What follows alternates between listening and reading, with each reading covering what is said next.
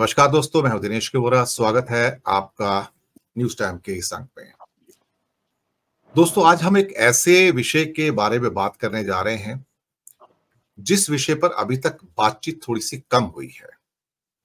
विषय इसलिए महत्वपूर्ण है कि पिछले कुछ वर्षों में सोशल मीडिया का और यूट्यूब का जो उदय हुआ, और उसने कुछ खिड़कियाँ ऐसी खोली राजनीतिक संवाद को प्रस्तुत करने के लिए जिसने हर किसी को अचंभित किया। खासतौर से मीडिया को अपने फौलादी पंजों में लेने के जो इरादे, एनडीए सरकार, अब तो एनडीए सरकार ही कहना पड़ेगा, जो इन्होंने दिखाए और किए और जिस ढंग से सारे मीडिया को, सारे मीडिया तंत्र को, अखबारें हो या टेलीविज़न न्यूज़ मीडिया हो, उसको अपने काबू में किया या खरीद लिया, धमका के खरीदा, पैसे दे के खरीदा, जैसे भी खरीदा। लेकिन हिज मास्टर वॉइस बन गए ऐसे में ये युद्ध कौन लड़ेगा? ऐसे में अन्याय और असत्य के खिलाफ कौन खड़ा होगा? फिर वहाँ से एक आशा की किरण नज़र आती है। वो सोशल मीडिया और वो यूट्यूब जिसका उपयोग मोदी जी ने पिछले कुछ वर्षों में सफलतापूर्वक और नए आयाम देकर किया कभी कभी क्या होता है कि ये जिन जब बोतल से बाहर निकल आता है तो फिर बोतल में जाता नहीं है।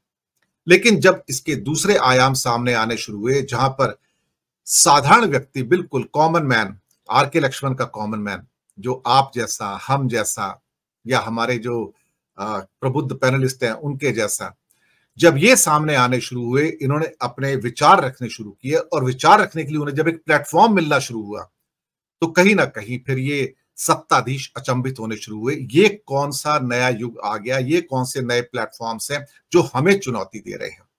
क्योंकि इन्होंने ना केवल चुनौती दी, इन्होंने एक नई ओपिनियन बनाई, इन्होंने नए इन्फ्लुएंसर्स पैदा किए। यहाँ पे बहुत सारे नाम है, किसी एक का नाम क्या लू मैं, लेकिन एक नाम ऐसा भी, जिसको नाम मैं लेना उचित भी समझूँगा, ध्रुव राठी, जिनके कुछ वीडियोस ने बहुत हद तक जाके इस सत्ता की कलई खोली। बातें सबको पता थी। लेकिन उसका जो प्रस्तुतिकरण था, वो बहुत क्रिस्प था, एडिटिंग बहुत मज़बूत थी, लोगों तक बात पहुँची। युवा थे, पंद्रह साल का बच्चा हो, दस साल का बच्चा हो, या बीस साल का हो, या फिर साठ साल का बूढ़ा हो, वो ध्रुव की बात करते हुए नज़र आए। और फिर इस पूरे संसार में बहुत सारे ध्रुव पैदा हुए। एक ध्रुव नहीं, सैकड़ों हो गए, जो अपनी ओपिनियन देते रहे। कहीं ना कहीं भारत की उस दबे कुचले वर्ग की ओपिनियन जिसकी कोई सुन नहीं रहा था, उसको उन्होंने एक प्लेटफॉर्म दिया। मुझे लगता है कि जो भी इंडिया गठबंधन की जीत हुई है, या तानाशाही की जो भी हार हुई है, या बैक स्लाइडिंग हुआ है, वो उसी कारण से हुआ कि इस सोशल मीडिया ने, इन यूट्यूब चैनल्स ने अपनी बातों को पुख्ता रूप से, सैद्धांतिक रूप से सामने रखा कि सत्य वो नहीं है जो आप देख रहे हैं, सत्य ये है जो हम आपको दिखा रहे हैं। हालाँकि यहाँ भी कई ऐसे प्लेटफॉर्म आए, जिन्होंने कुछ दुष्प्रचार किए, सनसनीखेज खबरें की, लेकिन हमारा चैनल हमेशा इस रूप में सामने आया कि हमने सनसनीखेज खबरों से अपने आप को दूर रखा। हमने अपनी टीआरपी उनके द्वारा बढ़ाने में कोई भी विश्वास भी नहीं रखा और कहीं ना कहीं ये सोचा कि हम सैद्धांतिक रूप से नैतिकता के साथ चलेंगे, कोई गलत खबर नहीं देंगे और कोई अनैतिक खबर भी नहीं देंगे। भले ही हमारे पास सब्सक्राइबर कम आए, व्यूज़ कम आए। लेकिन हाँ कहीं ना कहीं छोटी से छोटी छाप छोड़ने में हम भी कामयाब हुए। लेकिन उस कामयाबी के पीछे बहुत बड़ा हाथ सिर्फ़ हमारा चैनल नहीं, बल्कि वो सारे प्रबुद्ध विद्वान जो हमारे चैनल्स पे आते थे, उन सबको आज की तारीख में सबसे पहले तो मैं नमन करूँगा कि वो सभी हमारे पैनलिस्ट, वो हमारे सारे मित्र जो हमारे चैनल्स पे आए, उनका जो योगदान है अतुलनीय है। मैं उनको शब्दों में, पैसे में, धन में किसी से तोल नहीं सकता, क्योंकि जो देश की सेवा उन्होंने की है इसके द्वारा, देश को जिस एक काले अंधी, क्या कहते हैं, गुफा में जाने से बचाया है, उसके लिए जितने भी शब्द कहे जाए, कम है। मैं स्वागत करूँगा अमिताभ श्रीवास्तव जी और डॉक्टर राकेश पाठक का। बहुत बहुत धन्यवाद आपका, आप आए। मैं पहले अमिताभ जी आपके पास ही आता हूँ और आपसे प्रतिक्रिया लूँगा। आप बहुत सारे ऐसे मुद्दों को अपने प्रोग्राम्स में उठाते हैं जिन्हें कोई छूता नहीं और वो समाज के मुद्दे हैं। प्रेम हो, गीत हो, संगीत हो, या फिर वो कहानियाँ जो सुजाता या उस जैसी फ़िल्मों से निकलती हैं, जहाँ पर लोगों को अछूत समझा जाता था।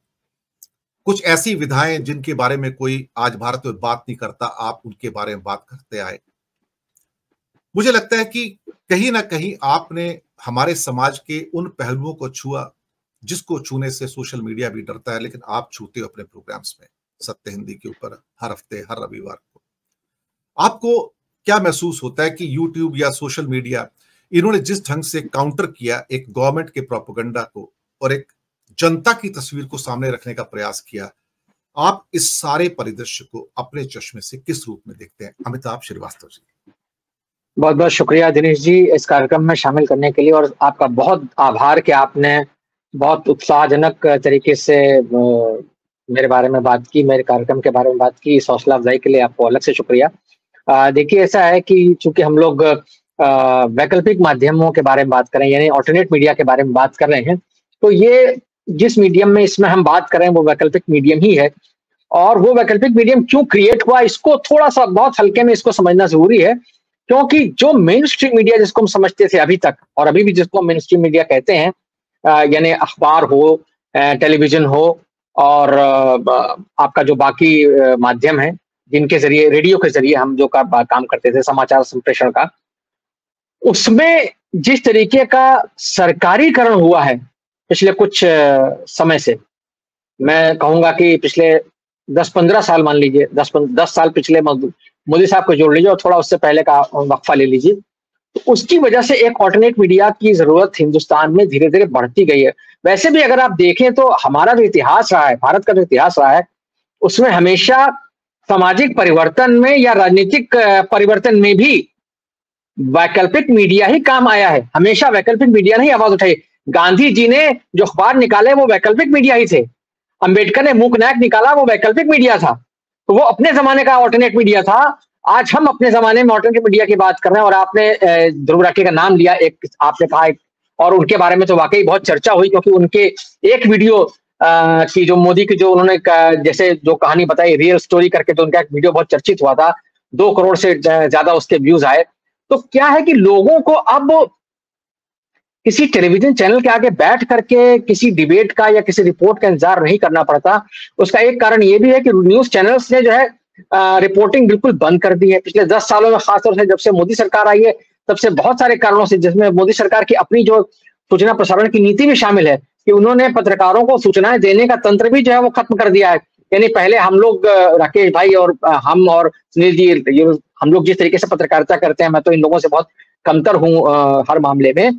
तो लेकिन ये था कि आपके वहाँ, आपको कम से कम एक्सेस रहता था मिनिस्टर्स के पास में एमपीज के पास में, या जो आपके सूचना के स्रोत हुआ करते थे। मोदी सरकार ने वो सारे एक्सेस पॉइंट्स जो है वो क्लोज कर दिए। अब क्या हुआ कि सिर्फ़ मंत्रियों के या कुछ खास लोगों के इंटरव्यूज़ के ज़रिए कुछ सूचनाएँ अगर ब्रेक हो जाए तो ब्रेक हो जाए। अदरवाइज़ कोई खबर चूँकि सरकार अपने हिसाब से मैनिपुलेट करती थी, इसलिए वहाँ रिपोर्टिंग बिल्कुल खत्म हो गई। पिछले दस साल में। आप देखें कि उससे पहले मनमोहन सिंह के कार्यकाल के दौरान यही मीडिया था जिसने कॉमनवेल्थ घोटाले से लेकर के तमाम बड़ी बड़ी खबरों का भंडाफोड़ किया, तमाम सारे बहुत बड़े घोटाले जितने निकले, जहाँ जहाँ सरकार के काम में गड़बड़ियाँ दिखाई दी। या समाज के तंत्र पर, समाज के तंत्र के स्तर में भी अगर देखा जाए तो जो जो चीज़ें उसको दिखाई थी, मीडिया ने उसका जो है, उसको उजागर किया और जनता के सामने रखा। लेकिन दस साल के अंदर कुछ ऐसा हुआ कि धीरे धीरे सरकार का जो एक रवैया था, उसके चलते और सरकार की कहना चाहिए नीति का अनुसरण करने के लिए, ये सरकार का एक तरीके से समर्थन करने के चक्कर में, सरकार की चाकरी या सरकार के चरण चापने के चक्कर में जो है वो धीरे धीरे मीडिया ऐसा होता चला गया, सरकार की सख्ती की वजह से भी, कि वो जो है वो उसने पॉलिटिकल रिपोर्टिंग भी बंद कर दी और धीरे धीरे सोशल रिपोर्टिंग भी बंद हो गई। मैं आपको ये बता रहा हूँ कि इस बार इलेक्शन में मुझे ये देखने को मिला कि जितने बड़े न्यूज़ चैनल थे, सबने अपनी बड़ी हाई फाई प्रोग्रामिंग का विज्ञापन तो बहुत किया। वो एक मार्केटिंग और सेल्स की स्ट्रेटजी हो जाती है कि आप अपने एंकर को मार्केट करें, आप अपने प्रोग्रामिंग को मार्केट करें, उसके ज़रिए विज्ञापन ले लें। लेकिन कहीं ग्राउंड रिपोर्टिंग नहीं दिखी। ये नहीं दिखा कि भाई किसी इलाके में का, इलाके में मतदाता वाकई में क्या सोच रहा वरना जो है, जो जिस तरीके की परिस्थितियाँ हमने चुनाव के बाद देखी वो स्थिति कहीं किसी रिपोर्टिंग में, किसी चैनल में कभी दिखाई नहीं दी। हम लोग जहाँ तक मुझे याद है, सुनील जी और राकेश जी भी इस बात की तस्दीक करेंगे शायद, कि जब हम चुनाव की कवरेज करते थे, क्योंकि मैं चुनाव प्रभारी रहा हूँ चैनलों में, और मैंने लोकसभा के चुनाव और विधानसभा चुनाव, सब तरह के चुनाव करवाए अपने उसमें। तो हम खास ध्यान रखते थे कि जिस दिन मतदान हो रहा है, उस दिन मतदाता की जो समस्या है यानी कहाँ मशीन खराब है, कहाँ उसको वोट डालने से रोका जा रहा है, कहाँ कोई हिंसा हो रही है, कहाँ अधिकारी जो है वो सुन नहीं रहे हैं, कहाँ कोई और समस्या है, यानी पानी बिजली की समस्या है या कहीं काउंटिंग धीमी हो रही है किसी दिन जब काउंटिंग का मामला होता था। तो ये सारी खबरें लाइव आती थी और उनको रिपोर्टर्स इसीलिए तैनात होते थे रिपोर्टर स्टिंगर्स का एक नेटवर्क होता था जो लाइव दर्शक तक ये सारी सूचनाएँ पहुंचाते थे। उससे खबरों की विविधता भी होती थी और दर्शक को असल में जानकारी मिलती थी कि तंत्र क्या कर रहा है। इस बार तंत्र क्या कर रहा है, ये लोग तक जानकारी पहुँची ही नहीं मेन स्ट्रीम मीडिया के ज़रिए। और वो काम बहुत बहुत अच्छी तरह से, बहुत अच्छी तरह से, बहुत काबिल तारीफ़ अंदाज में वैकल्पिक वैकल्पिक मीडिया ने किया। वो आपके यूट्यूब चैनल्स ने किया, वो आपके डिजिटल माध्यम में जितने आपके सोशल मीडिया साइट्स हैं, चाहे फेसबुक हो इंस्टाग्राम हो यूट्यूब हो और ट्विटर हो, इन सबने बहुत अच्छी तरीके से काम किया। तो वो एक जो चीज़ थी, वो उसने और आप देखेंगे उससे दर्शकों में एक भरोसा बढ़ा है। सबसे बड़ी बात यह है कि चूँकि मोबाइल की वजह से, यानी अब चूँकि सेलफोन की वजह से सबको एक्सेस है मीडिया का, तुरंत एक्सेस है और लाइव एक्सेस है। आपको इंतज़ार नहीं करना है कि नौ बजे मुझे रात में बैठ करके कोई प्रोग्राम देखना है। आप जो है कभी भी कहीं भी कोई भी प्रोग्राम देख सकते हैं यूट्यूब का। तो उसकी वजह से हर दर्शक, हर जगह का दर्शक, हर वर्ग का दर्शक, वो अपनी खबर देख सकता है। तो इस गरीब किसान और मजदूर जो जिसकी खबरें मीडिया में लगभग बंद हो गई हैं। वो लोग भी जो है अपनी खबरें अपने सम, अपने समाज से जुड़ी खबरें अपनी ज़रूरत खबरें जो है जैसे किसान आंदोलन का मामला ले लीजिए। किसान आंदोलन की खबरें मेन स्ट्रीम मीडिया में नहीं आई और जो आई भी तो वो इस घट इस तरीके से आई कि जैसे किसान जो है वो समाज के दुश्मन है। मजदूर एक समाज एक जमाना था जब हम लोग जब रिपोर्टिंग करते थे या पत्रकारिता में उस तरीके का माहौल था कि किसान मजदूर की खबरें दिखाना आपकी पत्रकारिता का ज़रूरी हिस्सा था। ट्रेड यूनियन की खबरें दिखाना आपकी पत्रकारिता का ज़रूरी हिस्सा था। मजदूरों की जो रैलियाँ होती थी, हड़तालें होती थी, उसको दिखाया जाता था। आज की तारीख में इनको समाज का दुश्मन मान लिया गया है। जब कोई मजदूर रैली निकलती है किसी शहर में तो अखबार या अखबार से ज़्यादा चैनल की खबर होती है कि साहब, ये शहरों में सड़कों पर जाम लग गया है। सड़कों की लाइफ जो है वो ठप कर दी गई है। तो मजदूरों को इस तरह से देखा जाता है। इसी तरह से किसानों को देखा गया कि साहब, वो तो जो है वो शहर की सीमा पर धरना देकर के बैठ गए। आवाजाही रुक गई है, लोगों को बड़ी दिक्कत हो रही है। शाहीन बाग का जब प्रदर्शन हुआ तो ये कहा गया कि साहब, बताइए, उस पूरे रास्ते को रोक करके बैठे हैं लोग आने जाना लोगों का मुहाल है। तो ऐसा ऐसा इस मीडिया ने एक माहौल बनाया है कि जिसके चलते शहरों में ऐसा मान लिया गया कि जो लोग किसी भी विषय पर आंदोलन कर रहे हैं यानी अपनी समस्या उठा रहे हैं वो समाज के दुश्मन है। वैकल्पिक मीडिया ने ठीक उलट जाकर के उनकी समस्या को समझने की कोशिश की। वैकल्पिक मीडिया ने यह दिखाया कि नहीं ये हमारे समाज का ज़रूरी हिस्सा है इनकी बात सुनी जानी चाहिए। और आप उसका असर देखेंगे कि आज वैकल्प उस वैकल्पिक मीडिया की ताकत की वजह से देखिए कि उत्तर प्रदेश से ले लेकर के महाराष्ट्र में बिहार में जहाँ कहीं भी आ, इंडिया गठबंधन के घटक दलों ने अच्छा प्रदर्शन किया है आप पाएँगे कि रूरल इलाकों में उनका प्रदर्शन बहुत ज़्यादा अच्छा है। क्यों? क्योंकि उनकी पेनेट्रेशन वहाँ पर रही है। उनकी एक ऑनलाइन प्रेजेंस भी रही है लाइव प्रेजेंस भी रही है। लोग ज़मीन पर जाकर के पारंपरिक तरीकों से भी प्रचार करते रहे। लेकिन साथ साथ में यूट्यूब और फेसबुक और सोशल मीडिया के बाकी प्लेटफॉर्म्स के ज़रिए उनको उनको जगह मिलती रही। इसका असर यह हुआ है कि जनता जो है, चौबीस नहीं, कि हाँ कहाँ पर क्या हो रहा है।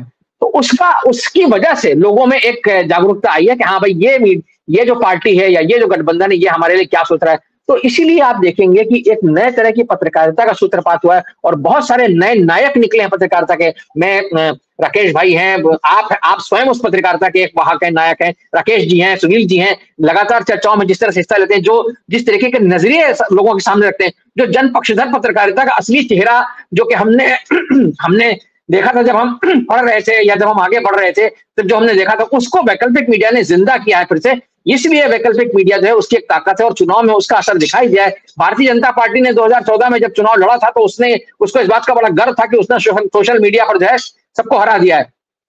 तुरंत बाद जब आम आदमी पार्टी आई 2013 से लेकर 2015 के बीच में, उन्होंने ऐसा एकदम तूफ़ान मचाया सोशल मीडिया पर कि, कि भारतीय जनता पार्टी पीछे हो गई और धीरे धीरे धीरे करके आप देखेंगे कि कांग्रेस ने किस तरीके से कैचअप किया। इस बार सोशल मीडिया पर राहुल गांधी जो है उनके जो वीडियोस होते थे यूट्यूब पर उनके वीडियोस को को देखने वाले दर्शकों की संख्या उनके व्यूज़ की संख्या नरेंद्र मोदी के वीडियोस की संख्या से कहीं ज़्यादा थी। तो जो वो जो एक फ़र्क है उससे दिखा कि भाई हाँ इनकी लोकप्रियता बढ़ रही है लोग उनको पसंद कर रहे हैं। तो वो अपने आप में एक तुरंत बैरोमीटर है। सबसे बड़ी बात है जैसे अभी हम लोग इस समय बात कर रहे हैं हम बात कर रहे हैं तो आपके चैनल को जो लोग देख रहे हैं इस समय जो आपके प्लेटफॉर्म से जुड़े हुए हैं, उनकी ऑनलाइन लाइव प्रतिक्रिया आपको नीचे तुरंत मिल जाती है। वो अच्छा सोच रहे हैं, बुरा सोच रहे हैं, हमारे बारे में क्या कहना चाह रहे हैं, उनकी क्या राय है? और कोई लोग जो बहुत फालतू कमेंट करते हैं, वो भी आपको तुरंत पता चल जाता है कि भाई, ये ये कौन लोग हैं, क्या कहना चाह रहे हैं? तो सारी चीज़ें आपको तुरंत दिख जाती है। तो ये शीशे की तरह साफ़ मामला है। इसमें किसी तरह की कोई मैनिपुलेशन की गुंजाइश कम से कम प्लेटफॉर्म पर नहीं है। आपकी राय में अगर आप कुछ ऊपर नीचे करते हैं, वो एक अलग बात है। और उसको पकड़ने के भी टूल्स हैं। फैक्ट चेकिंग की इतनी डिवाइसेस आ गई हैं, इतने तरीके आ गए हैं। आप देखिए यूट्यूबर्स ने कितना बढ़िया फैक्ट चेकिंग का पूरा एक मैकेनिज्म निकाला है कि जो बीजेपी व्हाट्सएप पर और जगह जगह तमाम तरह के जो आईटी वगैरह जो काम किया करते थे, उसको सब ध्वस्त कर दिया इस बार। इसीलिए आप देखेंगे कि इस बार चुनाव में बहुत ज़बरदस्त ताकत के साथ जो है वो वैकल्पिक मीडिया उभरा और उसने एक वैकल्पिक राजनीति को जो है आगे बढ़ाया, यानी विपक्ष की राजनीति को उसने आगे बढ़ाने में मदद की। जी दिनेश जी। जी, बहुत महत्वपूर्ण बिंदु उठाए आपने।